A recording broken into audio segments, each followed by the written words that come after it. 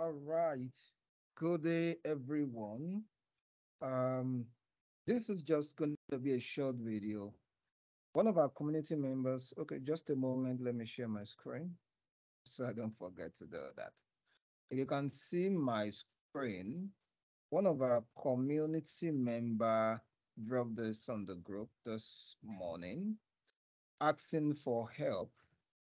And the question says, the client gives you the below table of their monthly revenue and costs.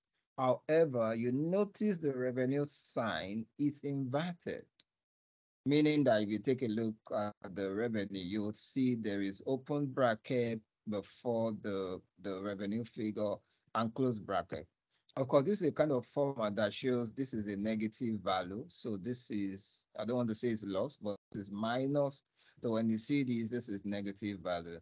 You could you could format in uh, red font or minus or this bracket.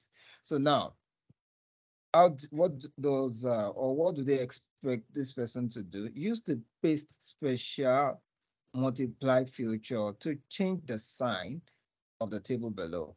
Of course, we can find the paste special here. All right, though there's a shortcut. Now, there is another worksheet that I named solution. So I have extracted information from this image. Of course, I extracted it here. If you if you've been following us, you'll discover we did it on Saturday, like two days ago, to show how to extract or get it out from picture. Of course, you can see that. That's how I arrived at this or derived this. Okay, now let's just get straight into it. So I'm going to stay somewhere and say control A. Control A means highlight or select all. Highlight or then I'll do control C. Control C will then select this for me. Now I want to go back to home tab and I'll see paste. I'm going to drop down paste. Then I'll go for paste special. There's the shortcut do control alt V. If I've done that, it will have just brought out the dialog box for me. But I'm going to click on paste special now then the dialog box for paste special just showed up. And it's not saying, okay, what do you want? What kind of operation do you want? Do you want addition of subtraction or division? Of course, we want to multiply. We want to multiply. So paste special multiply feature.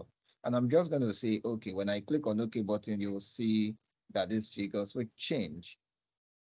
So let me, in case you're wondering this, of course, is because of the size, that's the width uh, of this. So let me increase this, right? And you get to see. So voila, this is um, the result. And we've just done what we are asked to do. I hope this uh, helps someone.